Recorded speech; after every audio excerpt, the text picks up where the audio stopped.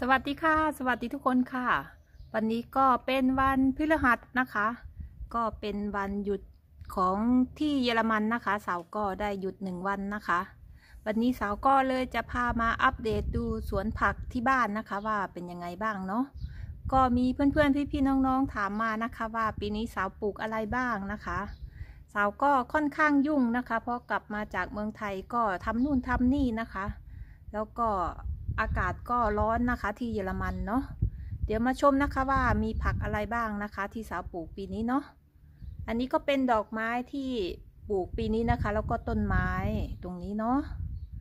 อันนี้ก็เป็นน้ำไว้สำหรับให้นกนะคะ นกเขาก็จะมาอาบน้ำกินน้ำตรงนี้นะคะลาเวนเดอร์สาวก็ปลูกไว้นะคะ เพื่อล่อแมลงนะคะ ให้ให้พึ่งให้แมลงเขามาตอม ส่วนฝั่งนี้ก็เป็นแปลงผักที่สาวปลูกนะคะ ผักก็ยังไม่สวยนะคะ แล้วก็ยังเอ่อยังไม่โตนะคะ อันนี้ก็เป็นลาเวนเดอร์ที่ปลูกใหม่นะคะ ของเก่าเป็นลาเวนเดอร์อีกแบบหนึ่งนะคะสาวก็รื้อออกใหม่ปลูกแบบเดียวกันนะคะ ก็จะมีพึ่งมาตอมแบบนี้ พึ่งแล้วก็แมลงนะคะ มาตอมเนาะ ที่เยอรมันเขาก็จะรณรงค์ให้ปลูก ผักแล้วก็ปลูกดอกไม้ปลูกต้นไม้ให้แมลงนะคะ เพราะว่าพึ่งแล้วก็แมลงมีน้อยนะคะ ก็คือแห้งแล้งเนาะอันนี้ก็เป็นต้นมะเขือนะคะมะเขือออกดอกแล้วแต่ต้นยังไม่โตเลยเนี่ยออกดอกแล้วนะคะ ต้นยังเตี้ยๆอยู่เลยเห็นไหมเอ่ยเสากลับมาจากเมืองไทยก็ได้หนึ่งเดือนแล้วนะคะ พอมาถึงก็รีบลงแปลงผัก แต่ว่ารีบทำนะคะ แต่ว่าเขาก็ไม่โตนี่ต้องมาตัดแต่งกิ่งอีกนะคะ แล้วก็พรวนดินใส่ปุ๋ย ก็มะเขือในแปลงนี้ก็จะมีประมาณหนึ่งสองสามสี่ห้าหกหกต้นนะคะ ส่วนอันนี้ก็เป็นต้นพริกที่สาวปลูกเนาะพริกก็อันนี้แตกกิ่งดีนะคะ แตกกิ่งดีแต่ว่า อาจจะเป็นเพราะดิน ดินไม่ดีหรือเปล่าไม่รู้ปีนี้ผักยังไม่โตเลยนะคะ นี่พริกเสาก็ปลูกพริกจินดานะคะ แล้วก็พริกที่น้าเอามาให้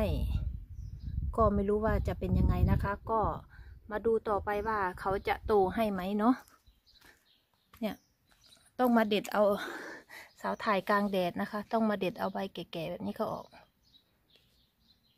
ช่วงนี้สาวมีงานนวดเยอะนะคะ ก็เลยไม่ค่อยได้ มา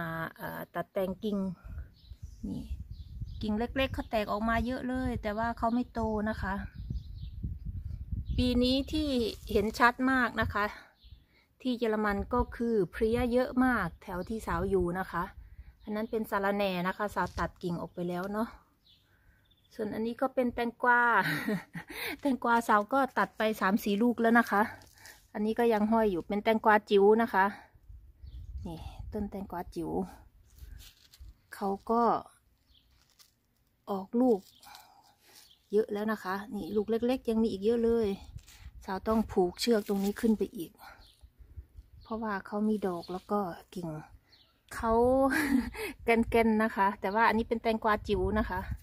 นี่เนาะไม่ใช่แตงกวาลูกยาวๆนะคะ เป็นแบบจิ๋ว ถั่วฝักยาวถั่วฝักยาว อันนี้น่าจะไม่รอดนะคะ อันนี้ ก็ต้องผูก ต้องผูกทำทำค้างนะคะ ให้เขาเลื้อยขึ้น เหมือนอันนี้เนาะแต่ว่าเพี้ยลงนะคะ ส่วนอันนี้ก็เป็นที่สาวเพาะขึ้นมาตามมาอีกทีหลัง เอ่ยเเพาะทีหลังนะคะ เขาก็ไม่ค่อยโตนะคะ นี่เนาะ แตงกวาเอ้ยไม่ใช่ถั่วฝักยาวนะคะอันนี้ แต่ว่าปีนี้เพลี้ยลงแล้วก็อาจจะดินไม่ดีนะคะ ก็เลยดูแกรนๆเนาะส่วนผักบุ้งไม่รู้ว่าจะรอดหรือเปล่านะคะ ปีนี้ จะต้องปลูกใหม่สาวคิดว่าเนาะดูสิเขาไม่สูงไม่โตไปไหนเลยอยู่แบบเนี้ย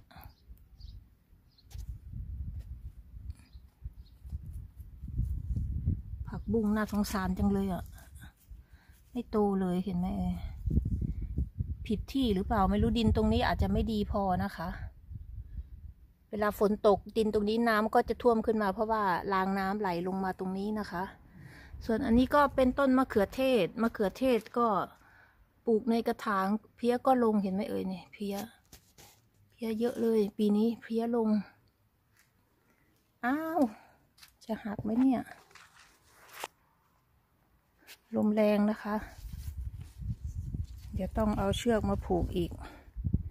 อันนี้ก็เป็นมะเขือเทศเหมือนกันนะคะ ส่วนอันนี้ก็เป็นมะละมะละสาวผูกเชือกไปเมื่อวานนี้นะคะเขาก็ยัง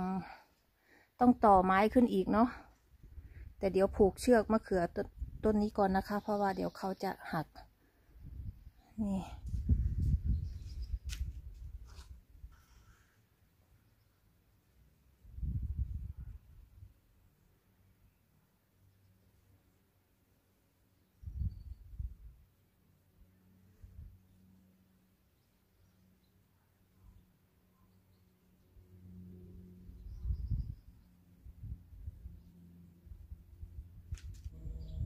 นี่นะคะก็เป็นต้นมะเขือเทศ เสาก็ซื้อที่เขาเพาะไว้แล้วนะคะ มาปลูกเนาะก็ใส่กระถาง เดี๋ยวจะพาไปดูฝั่งโน้นนะคะ ฝั่งนี้ก็จะเป็นพริกประเทศต่างๆนะคะเป็นพริกเม็ดใหญ่เนาะที่มีการเปลี่ยนแปลงก็คือเสาทำทางเดินตรงนี้ใหม่นะคะ ขยับออกมาเนาะ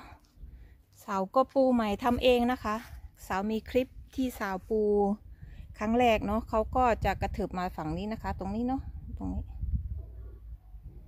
ทีนี้สาวก็ขยับออกมาอีกให้มีพื้นที่ตรงนี้กว้างขึ้นนะคะ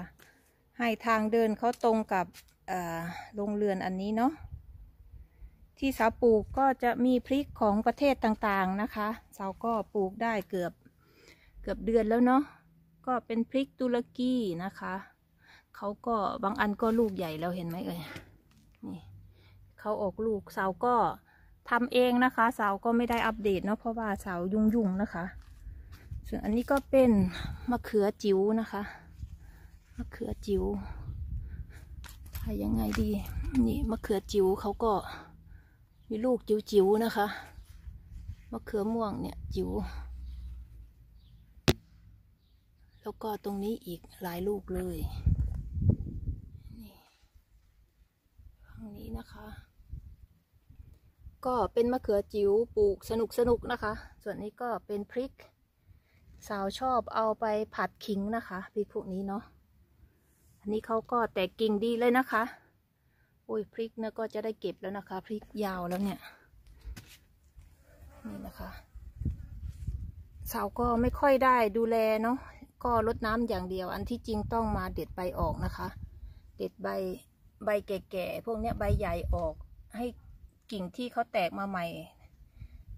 ได้เจริญเติบโตนะคะ นี่เขาก็ดอกแล้วเนี่ยเห็นไหมพริกเนาะอันนี้ก็เป็นมะเขือเทศนะคะมะเขือเทศสาวจะปลูกสองอย่างนะคะ สาวชอบทานสดก็คือมะเขือเทศค็อกเทลกับมะเขือเทศเชอร์รี่ ก็มีแค่นี้นะคะ ส่วนหลังบ้าน แล้วก็ที่ปลูกใหม่ลงดินก็คือต้นกล้วยอันนี้นะคะ ก็ขุดหลุม กระถางหนึ่งนั้นตายนะคะกระถางนี้รอดก็เลยเอาลงดินเขาก็แตกแตกหน่อออกมาใหม่เยอะเลยนะคะ อันนี้ก็ต้นใหม่เขาหนึ่งสองสามสี่ห้าหกเจ็ดแปดเก้าก็แตกแตกดีนะคะ แต่ไม่รู้ว่าจะรอดหรือเปล่า ก็ ขอให้เขารอดนะคะ นี่เนาะให้เขาโตต้นกล้วยที่ปลูกนะคะ เพราะว่าของเพื่อนบ้านแถวนี้เขาปลูกก็แตกดีนะคะ แล้วก็ต้นโตแดดร้อนมากแดดร้อนแดดร้อนเดินเข้าร่มก่อน ส่วนอันนี้ก็เป็นมะเขือมะเขือเปาะนะคะ ใส่กระถางด้วยสองต้น อันนี้ก็เป็นราสเบอร์รี่นะคะ เมื่อก่อนจะปลูกราสเบอร์รี่ข้างกำแพงเนาะ พอทำหญ้าใหม่สนามหญ้าใหม่นะคะ ก็ต้องเอาออก อันนี้ก็เป็นลาเวนเดอร์ที่รอปลูกนะคะ จะเอาไปปลูกฝั่งนู้น เพื่อล่อแมลงเหมือนกันนะคะ อันนี้ก็เป็นมะกรูดที่สาปลูก ใส่กระถาง มะกรูดก็แตกดีนะคะเพลี้ยลงเนาะ ต้นนี้จะต้องเปลี่ยนดินนะคะ ดินน้อย ดินน้อยดินยุบลงไปเยอะเลยเขาก็ไม่โตนะคะ ต้นมะกรูด แต่ต้นนี้นี่แตกกิ่งดีมากเห็นชัดไหมเอ่ยเมื่อกี้แดด ต้นมะกรูดต้นนี้แตกกิ่งดีนะคะ เดี๋ยวจะพาไปข้างหน้า ตรงช่วงระหว่างบ้านก็มีสาวปลูกโหระพาไว้นะคะ โหระพานี่ อันนี้ก็เป็นใบ ใบแมงลักฝรั่งนะคะ สาวซื้อมาทานเป็นกระถางเนาะพอสาวตัดทำอาหารเสร็จแล้วสาวก็เอาต้นที่เหลือนะคะ มาลงดิน ก็หนึ่งกระถางก็แยกปลูกได้ตั้งสามกอเนี่ยเห็นไหมเอ่ยส่วนอันนี้ก็เป็นต้นโหระพาแอฟริกานะคะ กลิ่นเขาจะฉุนแล้วก็มีเผ็ดเหมือนกะเพรานะคะ เราก็เลยซื้อมา มาปลูกเนาะ อันนี้ก็เป็นโหระพา อีกพันหนึ่งนะคะ นี่ยังไม่มีเวลาได้ตัดแต่งเอาใบแก่ๆแบบนี้เขาออก แล้วเขาจะแตกดีมาก อันนี้ซาวตัดไปทำอาหารแล้วนะคะ ก็ส่วนใหญ่ก็คือเอาไปผัดนะคะ ส่วนอันนี้เป็นโหระพาไทย สาวก็ซื้อซื้อมาหนึ่งกระถางเขามีเยอะมาก สาวก็เอามาแยกปลูก โหระพาไทยนะคะ ก็พิ่งฟื้นเนาะ อากาศค่อนข้างร้อนนะคะ แปรปรวน นี่ ส่วนอันนี้ก็เป็นดอกไม้นะคะ ดอกไม้ก็ไม่สวยสาวปลูกดอกไม้ไม่ค่อยสวยเลยนะคะแต่นี่ก็เป็นทั้งหมดที่สาวปลูกในปีนี้นะคะ แต่ว่าก็มีที่สาวเพาะไว้ยังไม่ได้ลงดิน ก็จะปลูกเพิ่มนะคะเราก็จะมาเคลียร์ตรงนี้อีกต้นสนที่อยู่ตรงนี้ก็ตัดออกแล้วนะคะ ตรงนี้สาวก็ตัดหลายอย่างออกสาวก็เคลียร์ดินเมื่อวานตรงนี้นะคะ ระหว่างที่สาวถ่ายวิดีโออยู่นะคะ สามีก็มาจากบ้านคุณอาแล้วก็บ้านพี่สาวเขานะคะ มาพร้อมกับจอบนะคะ เอามาให้สาวเพราะว่าอันเก่าที่สามีพังนะคะเขาก็โทรคุยกับพี่สาวเขาเนาะแล้วก็พี่เขย อันนี้ก็คือจอบที่